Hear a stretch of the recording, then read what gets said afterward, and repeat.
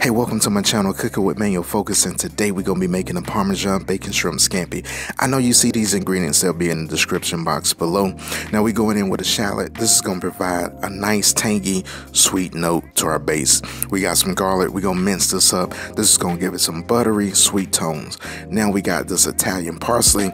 It's going to provide some minty, citrus notes. Now this is the starter dish. We got these shrimp. These are large shrimp. We're going to get these seasoned with some Creole seasoning seasoning. Now we gonna season it until our soul say it's ready to go.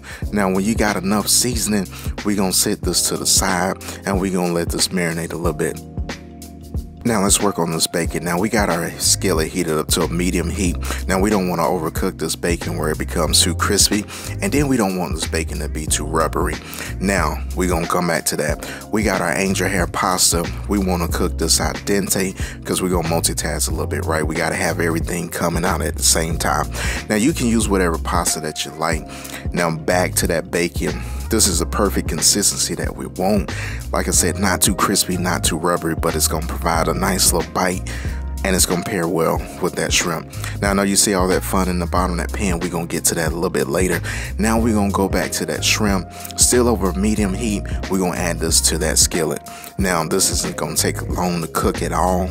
It's gonna take about a minute each side. So by the time that you get everything in that skillet, it's gonna be about time to flip the very first shrimp that you put in that skillet. So when it starts turning, you know, a little white, whitish color, then it's ready to go. You can flip that, and then we're gonna cook this for an additional minute. Now, all that flavor that's in the bottom of that pan from that bacon grease is gonna infuse into those shrimps, and it's gonna create a nice flavor. Now, those right there are perfectly done.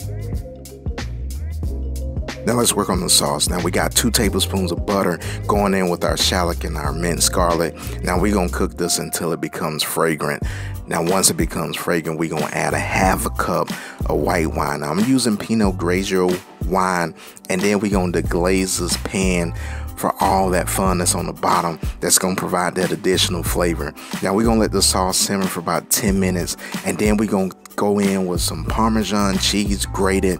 This is about two tablespoons of Parmesan cheese. Now you can go, you know, heavier if you like, but two tablespoons would be perfect.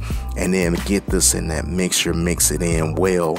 And then after that, after you let it simmer for about another minute or so, you're gonna add a whole lemon squeeze and this is gonna provide additional citrus notes and it's gonna pair well with that shrimp. It's gonna provide that nice tangy taste that's gonna just like kiss that shrimp and you in the game.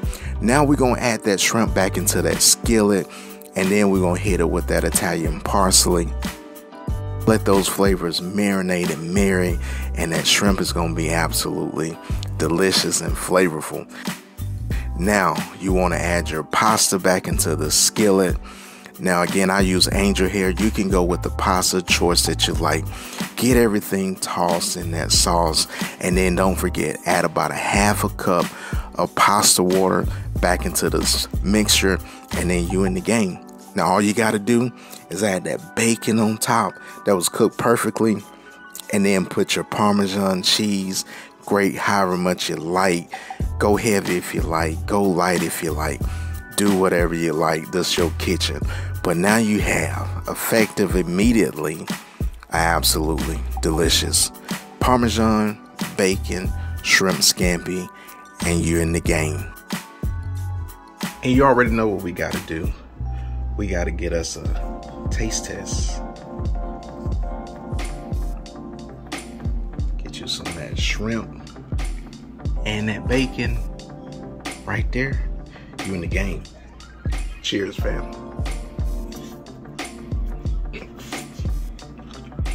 Mm. Now,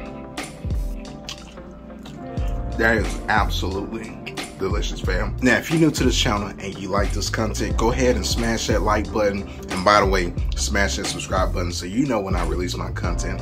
For the people that's been rolling me for a while, focus, fam. You already know what I got to do. I got to smash into this bacon, Parmesan shrimp scampi. And we'll see you guys on the next recipe. Peace.